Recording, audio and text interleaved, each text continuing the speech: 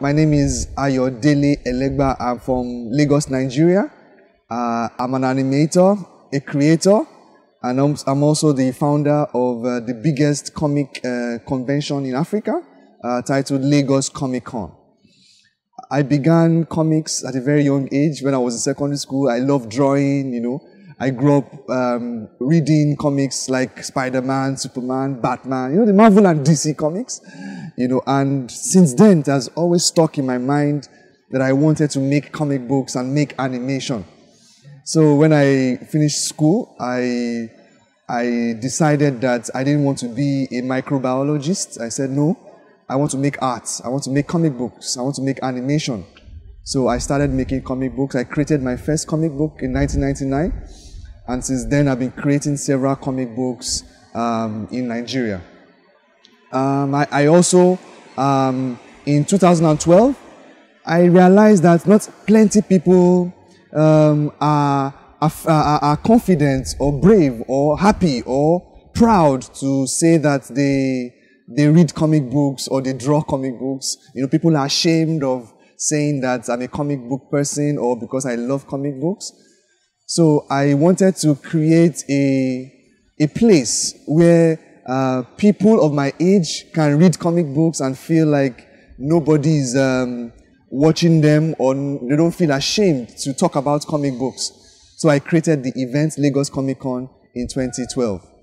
In 2012, we had 300 uh, people attend, and since then, we have grown the event over and over. Uh, last year, 2017, so last year, 2018, we had 4,000 people come from all over Africa, from Ghana, from Cameroon, from up uh, north. And it was an exciting time because plenty of people uh, understood now that Africa makes comic books and we have good artists, good colorists, good writers, good animators in, in Africa. You know, Lagos Comic Con brings people who do comics, animation, games, brings them all together in one place and they can network and enjoy themselves.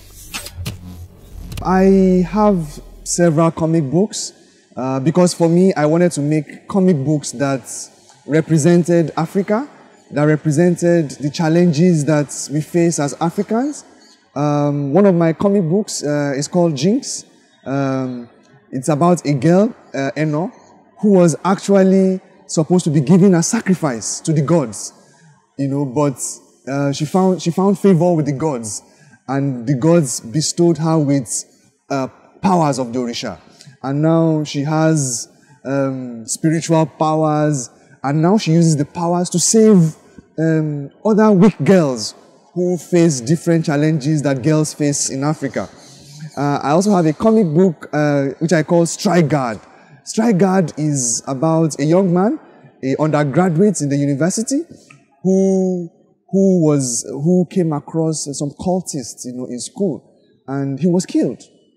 You know, but when he, he, he was killed, when he was buried and thrown into a ditch, the ditch they buried him was the same spot that um, um, that a particular ancestor in the in the likes of Shango was also buried.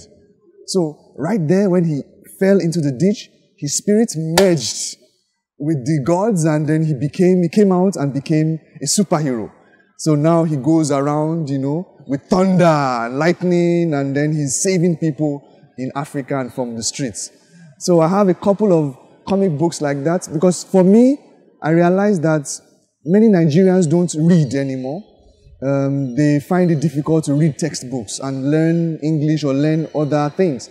For me, I feel comics is an opportunity for you to attract young people to reading, attract them to drawing, and attract them to storytelling. And that's what I try to do with every comic that I, I produce.